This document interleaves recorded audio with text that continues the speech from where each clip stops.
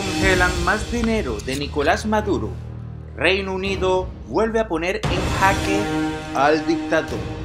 El Reino Unido sancionó por corrupción al testaferro de Nicolás Maduro, que está preso en Cabo Verde. Estamos hablando de Alex Saab, quien tiene varias cuentas a nombre de testaferros de otras personas a nombre de él, pero le pertenecen a Nicolás Maduro. El gobierno británico va a congelar los activos de Alex. Nicolás Maduro vuelve a perder en Miraflores. Ya Reino Unido acaba de decir que reconoce a Juan Guaidó como el presidente encargado. Nicolás Maduro ha estado lloriqueando, diciendo que le quieren robar el oro que él quiere usar supuestamente para el pueblo venezolano, cosa que nadie cree. También ya eh, la extradición de Alex Saab es un hecho. Entonces simplemente ahora el gobierno británico nuevamente arremete contra el régimen de Nicolás Maduro sancionando a este contratista colombiano por malversación en Venezuela. Así que el colombiano Alex Saab eh, verán sus activos congelados en el Reino Unido. También tendrán prohibición de viajar para garantizar que ya no pueden utilizar su dinero a través de los bancos británicos ni entrar al país. Así lo dijo el Ministerio de Relaciones Exteriores en un comunicado.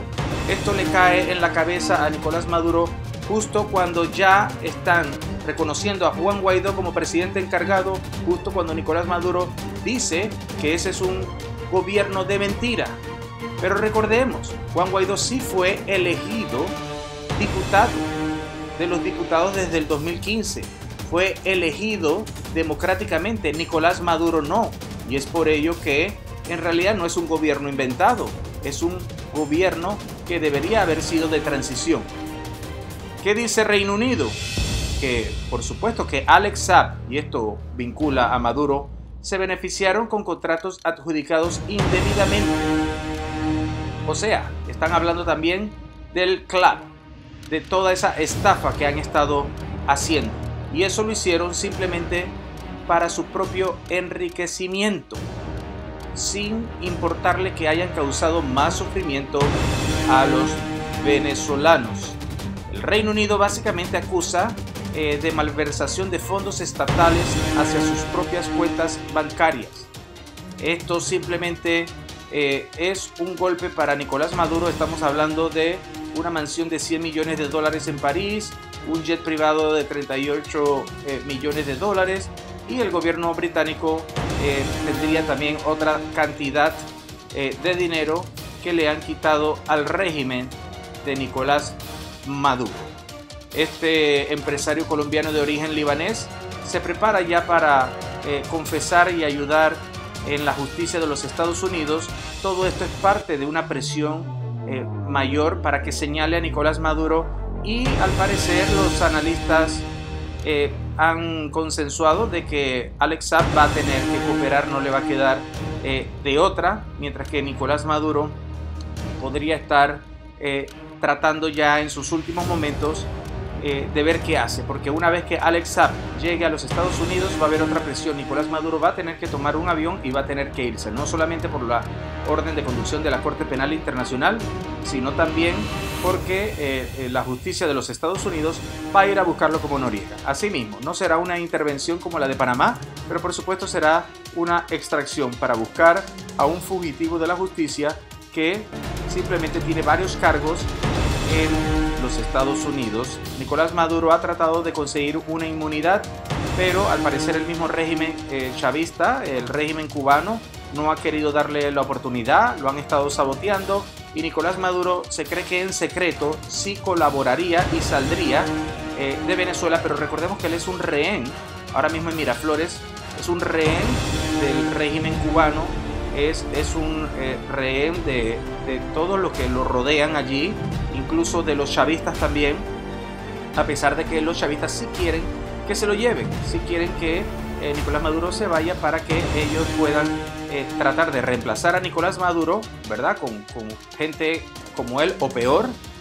Pero también podría ser que hay algunos que sí quieren que hayan elecciones libres porque los políticos del PSUV de todos modos sí quieren y aspiran a ser presidentes, etc. Entonces, eh, Nicolás Maduro estaría tratando de, eh, de, lograr un acuerdo todavía en México eh, a través de Padrino López y de otras, de otras personas cercanas a él porque al final el que va a salir perjudicado es Nicolás Maduro. Le, van le pueden dar una cadena perpetua, 60 años, o tendrá que irse de fuga. Va a ser un prófugo de la justicia como lo han sido otros, que al final igual lo han capturado. Está el ex serbio, que estuvo 10 años prófugo, pero no pudo estar eh, tranquilo, siempre pensando que lo iban a atrapar, hasta que lo atraparon. Apeló hace poco y le continúan una cadena eh, perpetua. Esta acción que toma eh, Gran Bretaña, simplemente Reino Unido lo hace porque está dirigida a personas que se han llenado los bolsillos a expensas de sus ciudadanos. El Reino Unido está comprometido con la lucha contra la corrupción y la rendición de cuentas de los responsables de esto. O sea, básicamente el Reino Unido ha sancionado a Maduro, al testaferro de Maduro, y a 27 personas más en todo el mundo desde que pusieron en marcha eh, una serie de sanciones. Nicolás Maduro simplemente eh, se queda cada vez sin más opciones. Díganos, ¿usted qué opina? Déjanos tus comentarios y recuerda suscribirte a nuestro canal